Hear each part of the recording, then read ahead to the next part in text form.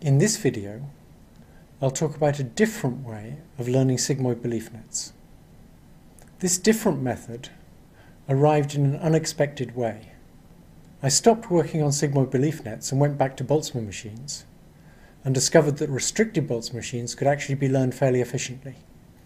Given that a restricted Boltzmann machine could efficiently learn a layer of nonlinear features, it was tempting to take those features, treat them as data, and apply another restricted Boltzmann machine to model the correlations between those features.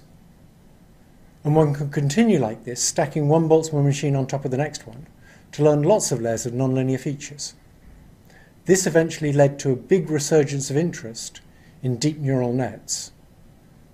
The issue then arose, once you've stacked up lots of restricted Boltzmann machines, each of which is learned by modelling the patterns of feature activities produced by the previous Boltzmann machine, do you just have a set of separate restricted Boltzmann machines, or can they all be combined together into one model?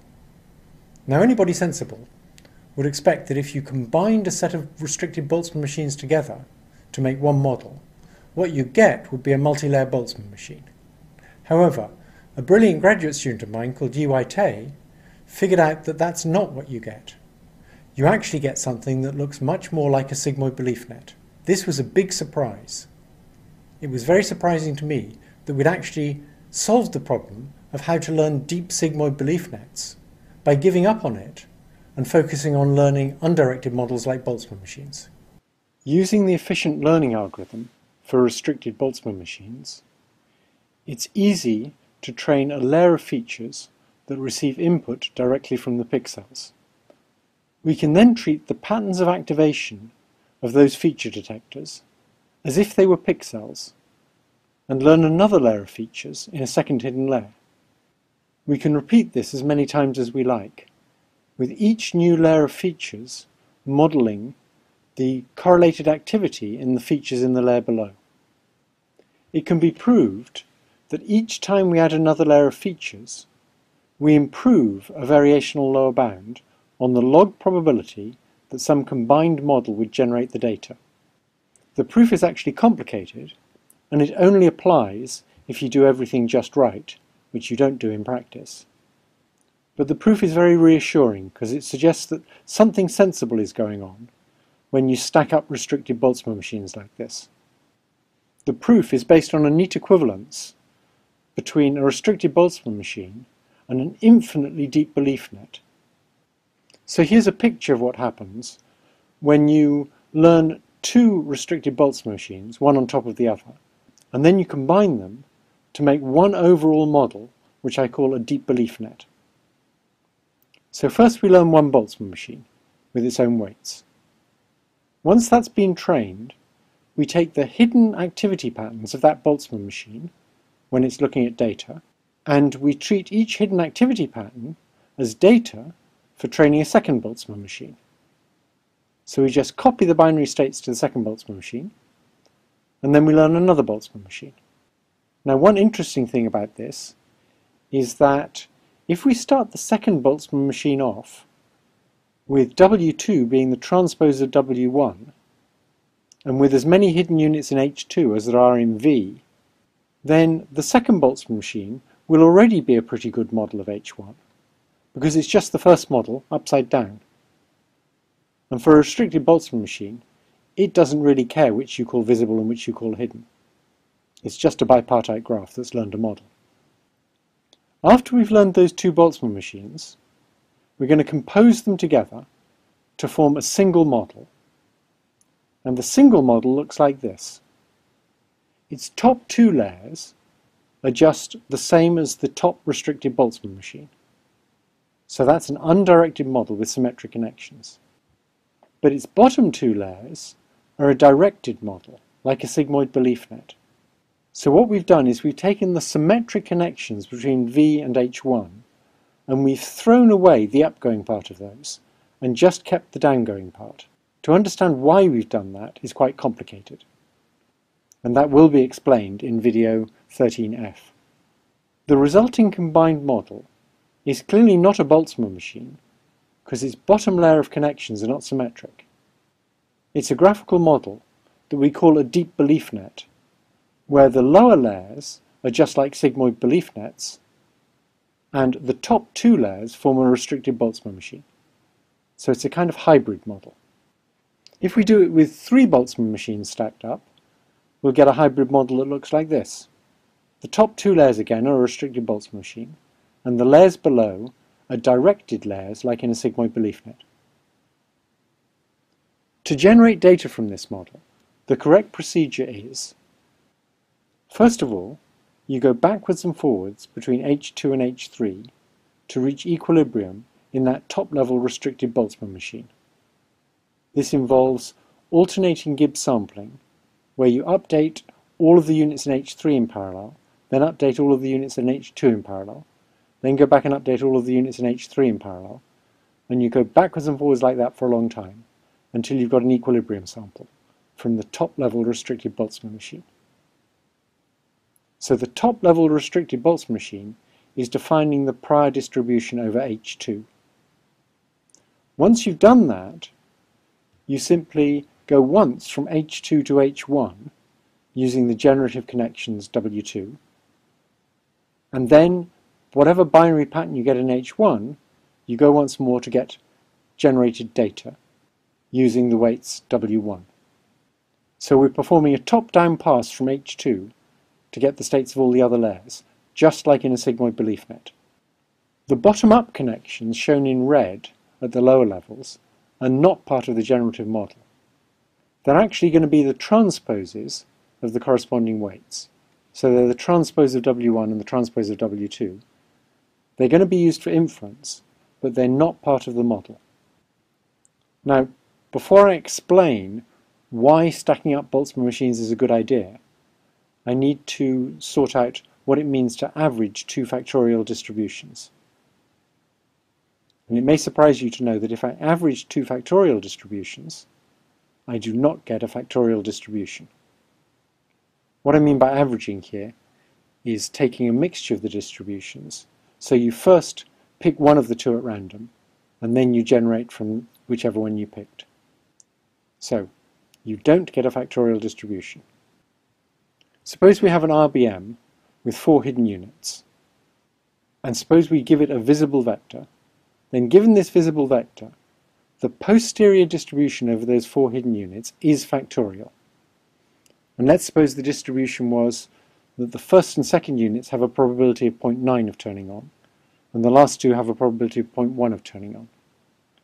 What it means for this to be factorial is that, for example, the probability that the first two units will both be on in a sample from this distribution is exactly 0.81.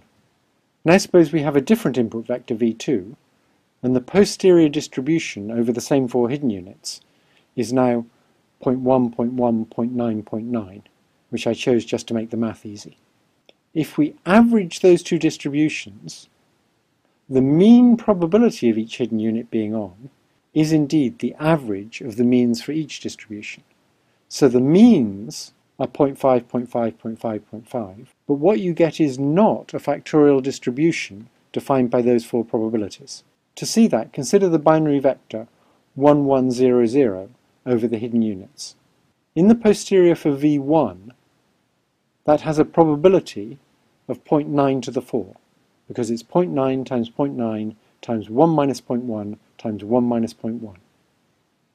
So that's 0.43. In the posterior for V2, this vector is extremely unlikely. It has a probability of 1 in 10,000. If we average those two probabilities for that particular vector, we'll get a probability of 0.215. And that's much bigger than the probability assigned to the vector 1100 by a factorial distribution with means of 0.5. That probability would be 0.5 to the power of 4, which is much smaller. So the point of all this is that when you average two factorial posteriors, you get a mixture distribution that's not factorial. Now let's look at why the greedy learning works. That is, why it's a good idea to learn one restricted Boltzmann machine and then learn a second restricted Boltzmann machine that models the patterns of activity in the hidden units of the first one. The weights of the bottom level restricted Boltzmann machine actually define four different distributions. Of course, they define them in a consistent way. So the first distribution is the probability of the visible units given the hidden units. And the second one is the probability of the hidden units given the visible units. And those are the two distributions we use for running our alternating Markov chain that updates the visibles given the hiddens and then updates the hiddens given the visibles. If we run that chain long enough, we'll get a sample from the joint distribution of V and H, and so the weights clearly also define the joint distribution. They also define the joint distribution more directly in terms of e to the minus the energy, but for nets with a large number of units we can't compute that.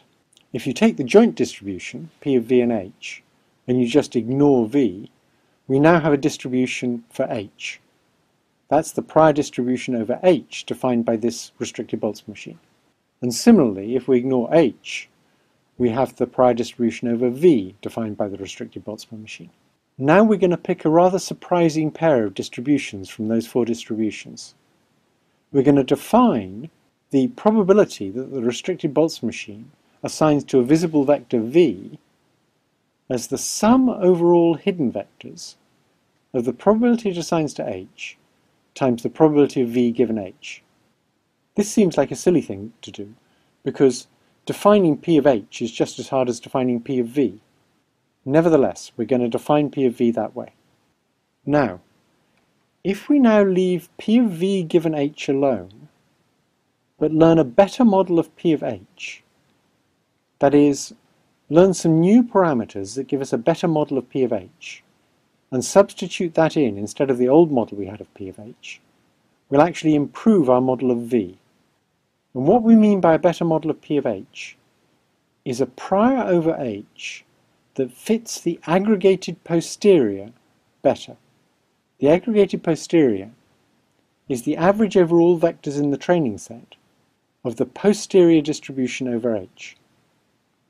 So what we're going to do is use our first RBM to get this aggregated posterior, and then use our second RBM to build a better model of this aggregated posterior than the first RBM has.